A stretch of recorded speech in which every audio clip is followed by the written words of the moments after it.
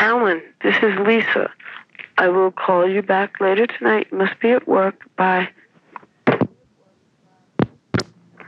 Alan, this is Lisa, and I'm going to beat your ass. I'll get back with you later, you little piece of shit.